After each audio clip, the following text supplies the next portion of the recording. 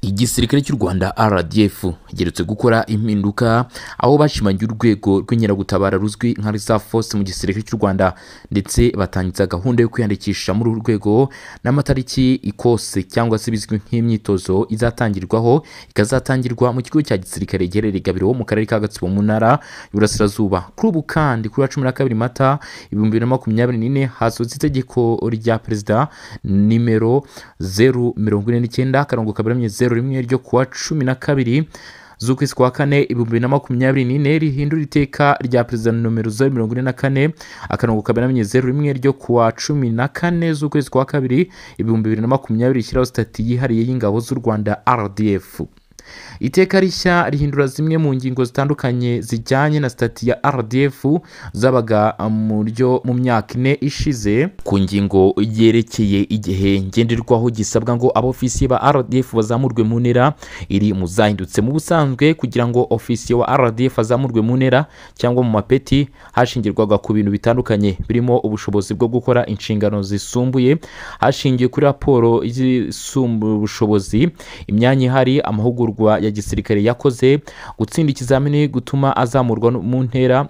Iyo ari ngombwa ndetse no gutsinda ikizamini cy'imyitozo ngororangingo.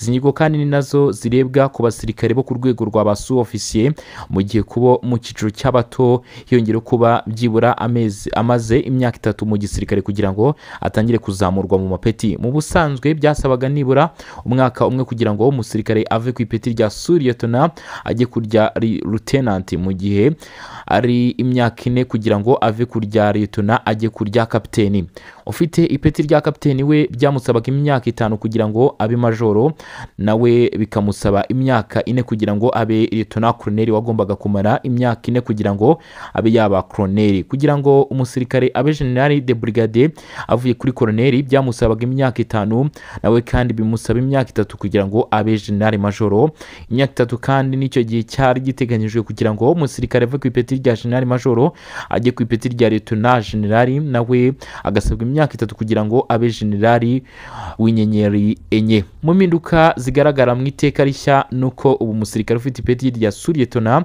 bimusaba amezi atandatu yonyine kugira ngo ajye ku rya leta uyu we nk'ibisanzwe bikaba bimusaba imyaka ine kugira ngo agere ku rwego rwa kapiteni ufite ipeti rya kapiteni bizajya bimusaba imyaka ine kugira ngo abe majoro nawe bikamusaba imyaka itatu kugira ngo abe leta koroneri ugomba kumara imyaka itatu kugira ngo abe yaba koroneri ba koroneri byabatwaraga imyaka itanu kugira ngo babe ba jenali de brigadier bizajya bibatwara imyaka ine gusa. Abo nk'ibisanzwe bizajya bibasaba imyaka itatu kugira ngo babe ba jenali majoro abo ba jenali b'inyenyeri ebyiri bizajya bibasaba imyaka itatu kugira ngo babe ba leta jenali nk'uko byari bisanzwe. Nabo bibasabe indi nkayo kugira ngo bibabe baba ba jenali buzuye. Iteka rya perezida icyakora riteganya ko perezida wa repubulika akaba n'umugaba w'ikirenga wa rdf ashobora kuzamura ku ipeti ryisumbuye ofisiye igihe icyo ari cyo cyose cyangwa akamuzamura ku ipeti ryisumbuye igihe agiye mu kiruhuko cy'izabukuru. Njye nitwa brigadier general ronald rwivanga nkaba ndi umuvugizi w'ingabo z'u rwanda. Ndi kumwe na koroneri lambert sendegera umuyobozi mukuru ushinzwe abakozi mu ngabo z'u rwanda. Impamvu yatumye tubahamagara ni ukugira ngo tubasobanurire birambuye. Urwego rw'inkeragutabara imiterere n'imikorere y'uru rwego nk'ishami rimwe mu mashami ane agize igisirikare cy'u rwanda ariyo ingabo zirwanira ku butaka land force ingabo zirwanira mu kirere air force ingabo zishinzwe ubuzima military health service n'ingabo z'inkeragutabara reserve forces. Iki kiganiro kigamije gusobanurira abanyarwanda muri rusange n'urubyiruko by'umwihariko igikorwa cyo kwinjiza mu ngabo inkeragutabara bakwitabazwa. Iyo bibaye ngombwa ibisabwa kugira ngo bemererwe kujya muri buri mutwe w'inkeragutabara. Imiterere y'akazi n'ibigenerwa umuntu wahamagariwe iki gikorwa cyo kunganira abasirikare basanzwe mu kazi kabo ka buri munsi. Mu rwego rwo kongerera ingabo z'u rwanda ubushobozi n'ubumenyi mu ngeri zitandukanye umutwe w'inkeragutabara urateganya kuzagira ingabo ziri mu byiciro bitatu bikurikira. Icyiciro cya mbere inkeragutabara bitabazwa mu bikorwa bya gisirikare abo twita operation reserve aba ni urubyiruko ruri hagati y'imyaka cumi n'umunani na makumyabiri n'itanu y'amavuko.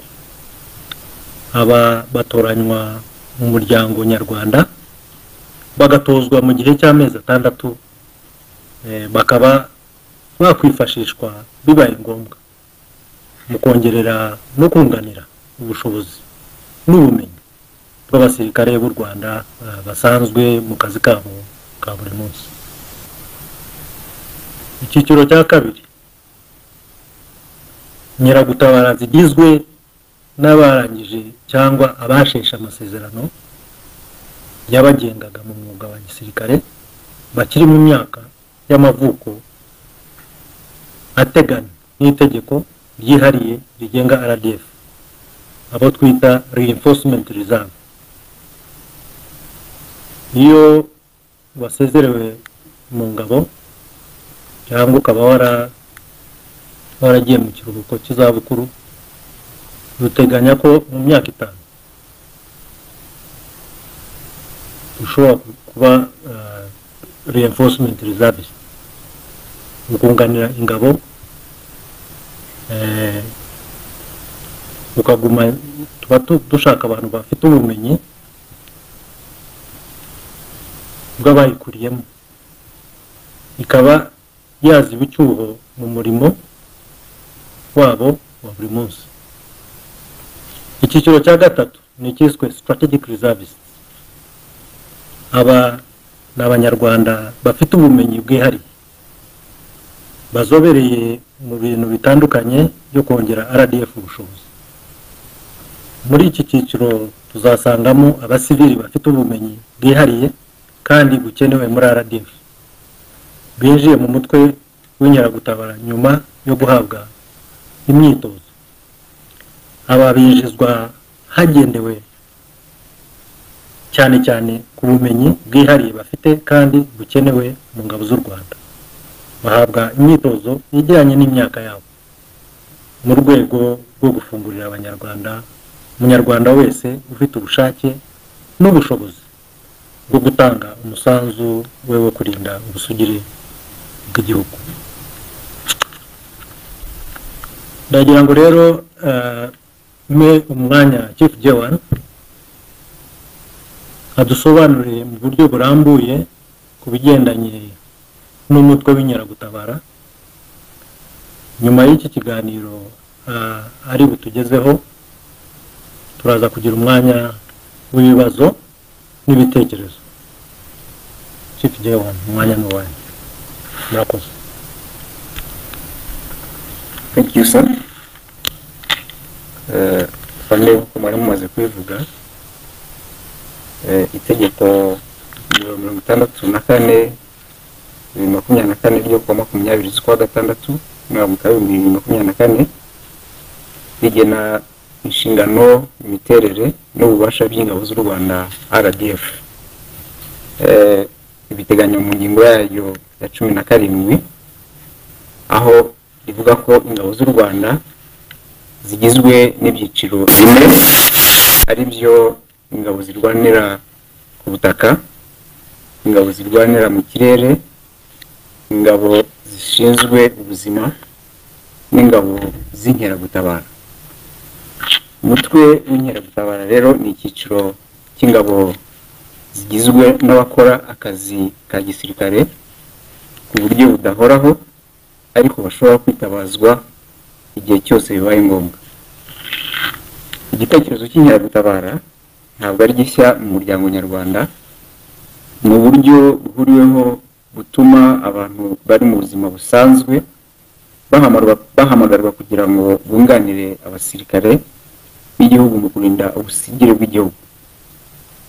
Izi nshingano rero ziba zisaba ko ingabo z'u rwanda zihora eh, zongererwa imbaraga zihamye zo guhangana n'ibyahungabanya ubusugire n'umutekano w'u rwanda muri iki gihe na ndetse n'ikizaza. Ni muri urwo rwego rero ingabo z'u rwanda eh, ziteganya igikorwa cyo kwinjiza mu ngabo z'u rwanda eh, umutwe w'inkeragutabara urubyiruko rushoboye kandi rufite ubushake rwakwitabazwa bibaye ngombwa mu kunganira abasirikare b'u rwanda basanzwe bakora uwo murimo buri munsi. Abakenewe muri iki gikorwa ni urubyiruko ruri hagati y'imyaka cumi n'umunani na makumyabiri n'itanu y'amavuko barangije amashuri atandatu yisumbuye no kujyana hejuru. Hanyuma ku bafite ubumenyi bwihariye bo hazajya hitabwaho eh, ku byo bize mu mashuri n'ubumenyi bafite mu rwego runaka. Rero kwiyandikisha eh, n'ibizamini by'ijonjora bizakorerwa mu turere mbere yo kujya gukora imyitozo igabiro kugira ngo mumaze iminsi mubyumva ku bitangazamakuru bitandukanye ko icyo gikorwa kizatangira ku itariki ya cumi n'icyenda z'uku kwezi. Ahangaha nagira ngo nsobanure ko eh, iri tangazo ririho rinyuraho eh, rirahurirana n'iryatambutse mu kwezi kwa karindwi naryo rihamagara ingabo eh, zo zikora akazi mu buryo bwa buri munsi.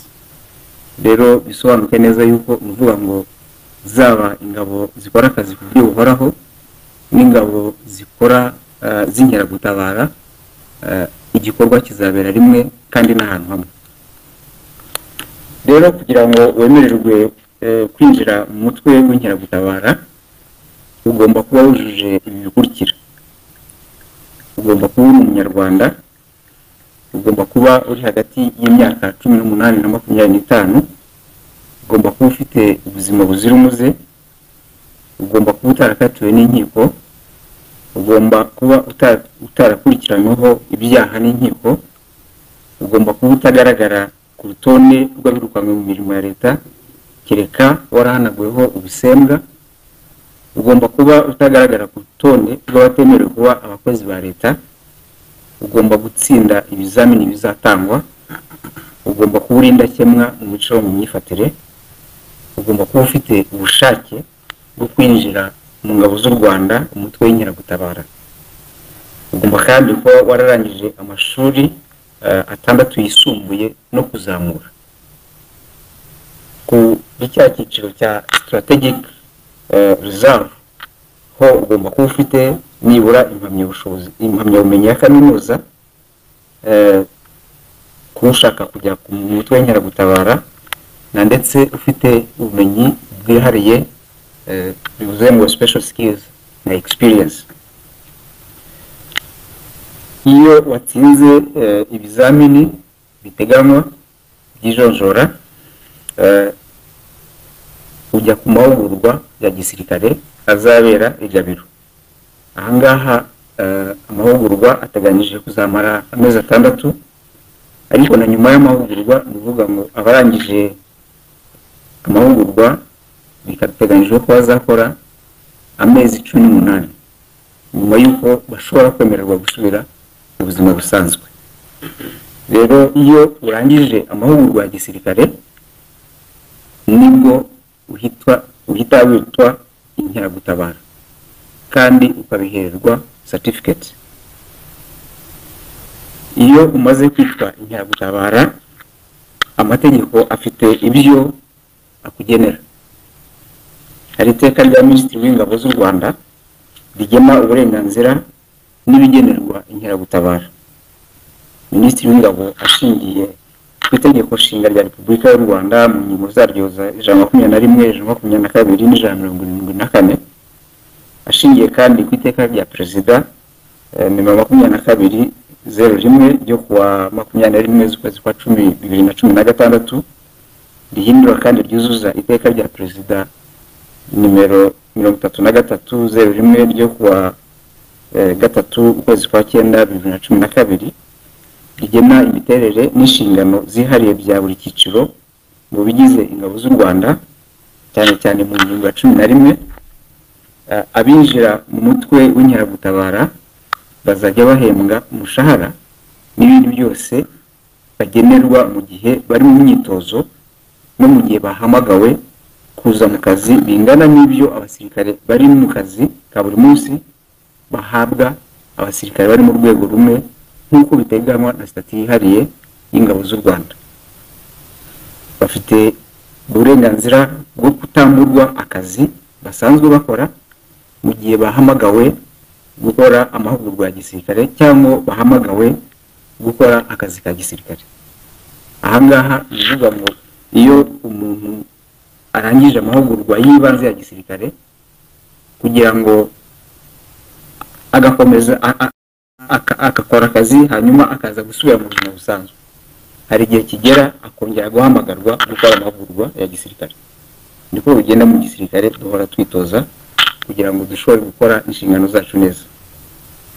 Umukandida rero w'inkeragutabara agenerwa ibiteganywa na sitati yihariye y'ingabo z'u rwanda birimo amafaranga ya buri kwezi impuza- impuzankano ubuvuzi n'ibindi bitarondorwa. Kandida w'inkeragutabara yitwa inkeragutabara guhera itariki arangijeho imyitozo y'ibanze ya gisirikare kandi yayitsinze neza. Nyuma yo gusoza amahugurwa inkeragutabara bahabwa seritifika nk'uko nari nabivuze kandi banasinya amasezerano yo gukora muri rdf nk'inkeragutabara. Eh, ku nkeragutabara eh, yasubiye mu buzima busanzwe hanyuma iga- igahamagarwa mu kazi. Ka gisirikare aba afite uburenganzira bukurikira eh, iyo afite akazi eh, afite uburenganzira bwo kutirukanwa ku kazi asanzwe akora. Afite uburenganzira umushahara n'inyongera zijyanye nawo. Afite n'uburenganzira bwo kudatakaza eh, umushahara yahembwaga. Afite uburenganzira mu kuzamurwa mu ntera iyo yujuje ibiteganywa na sitati yihariye y'ingabo z'u rwanda. Afite kandi uburenganzira ku bwishingizi bw'indwara iyo ari mu mahugurwa cyangwa ari mu kazi. Afite kandi n'uburenganzira bwo guhabwa eh, ibimenyetso n'impeta- ni- by'ishimwe n'impeta za gisirikare. So abagize inkeragutabara bashobora kugenerwa n'ibi bikurikira. Ni ukuvuga ibi ngibi ntabwo ari hamwe n'ibyo bashobora kugenerwa. Ashobora kwiga mu mashuri ya gisirikare iyo yujuje ibisabwa. Ashobora korohe- koroherezwa gukoresha ahagenewe gukorerwa imyidagaduro hagenerwa ha- ha- hagengwa na minisiteri y'ingabo. Kandi ashishikarizwa kujya mu makoperative no gushyiraho koperative nshya. Ashobora gufashwa kubona akazi mu nganda no mu mishinga ibyara inyungu icungwa na minisiteri y'ingabo. Ashobora kandi guhabwa amahirwe yo kwimenyereza mu mwuga mu nzego n'ibigo bishamikiye kuri minisiteri y'ingabo. Ibi ni byo agenerwa igihe akibarwa nk'inkeragutabara ariko nk'uko bigenda no mu kazi kose ukora akazi ariko hakagera igihe ugasohokamo. Rero itegeko riteganya ni ryari inkeragutabara? Eh, irangira kwitwa inkeragutabara. Ni ku mpamvu zikurikira hari kurangiza igihe cyo kubarirwa mu nkeragutabara ku buryo buhoraho. Ahangaha ni ukuvuga ngo iyo igihe cye cya retirement cyangwa cyo kujya mu zabukuru kigeze. Ubundi buryo cyangwa iyindi mpamvu ni iseswa ry'amasezerano y'umuriro. Mu cyongereza ibyo twita rescission of contract. Indi mpamvu ya gatatu ni ugusaba kureka umurimo w'inkeragutabara bikwemerwa Eh, ahangaha mu cyongereza babyita granted request. Ingingo ya kane ni ugukurwa mu kazi kubera impamvu z'uburwayi. Mu cyongereza byitwa medical discharge. Ingingo ya gatanu ni ukwirukana. Cyangwa se dismiss.